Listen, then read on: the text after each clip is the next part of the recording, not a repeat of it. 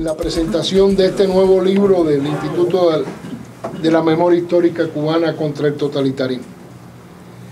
En este exilio tan difícil para las cosas culturales, y más cuando se trata eh, de historia y de, ensayo, de cosas más profundas, ha realizado el instituto una labor ingente y fundamental.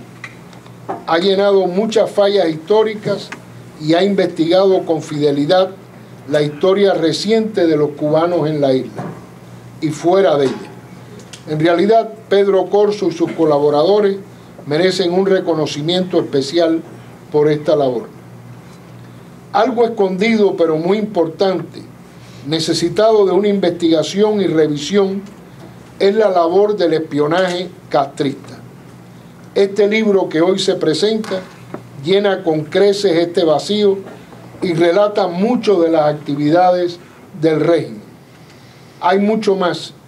Esta labor tenebrosa se desenvuelve hace muchísimos años, la sufrimos en la lucha clandestina y la seguimos sufriendo hoy en todas las actividades que ellos realizan.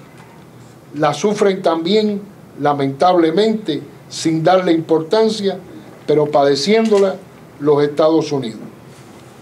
Ahora los presentadores van a explicar con mayor profundidad el contenido del libro y vamos a comenzar con Amado Rodríguez.